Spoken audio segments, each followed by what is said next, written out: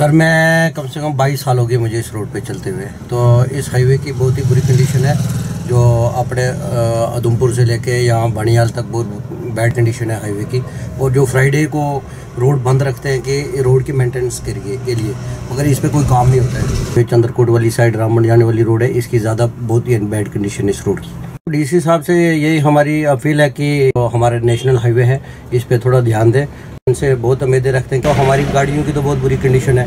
खड्डू में जाके कभी टायर ब्लास्ट हो जाता है, कभी पट्टे टूट जाते हैं। तो यानी बहुत ही बुरी कंडीशन है इस हाईवे की जो ये नाचरी से आपने बानियाल तक है जो इस हाईवे की बहुत बुरी कंडीशन है। सर, जिस टाइम से हम इस रोड पर चल रहे हैं, तब से हम इस रोड की हालत देख रहे हैं। आज से पाँच छः साल हो गए, ये रोड सेम ही दिख रहा है। पूरी कंट्री को जो ये रोड जोड़ता है, जम्मू कश्मीर का जो नेशनल हाईवे है, ये लगता नहीं है किसी भी तरीके से ये नेशनल हाईवे एक ऐसा लगता है कि हम किसी नाले में से जा रहे हैं कि लिंक रोड से भी बदतर इसकी हालात है।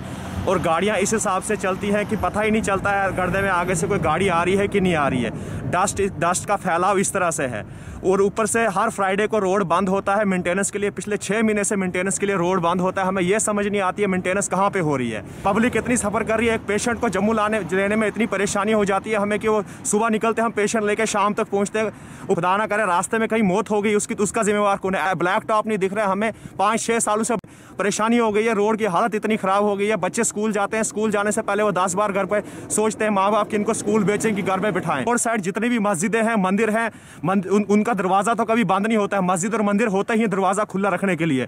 उनकी हालत देखा जाए, डस्ट अंदर इतनी पड़ी हुई है रोड की हालत इतनी ख़राब है कि थोड़ी सी बारिश थोड़ी सी बारिश आ जाए तो रोड बंद हो जाता है, घर पहुँचना मुश्किल हो जाता है। जो बंदे रोज़ आन आओ जाओ इस रोड पे, वो इतनी परेशानियों का सामना कर रहे हैं कि नए डीसी साहब आए, इनसे हमें काफ़ी ज़्यादा उम्मीदें हैं, बहुत ही एक्टिव डीसी साहब है, हमें इनसे काफ़ी ज़्यादा उम्मीदें हम इनसे यही रिक्वेस्ट करते हैं कि जल्दी से जल्दी इस पर ब्लैक टॉप डाला जाए।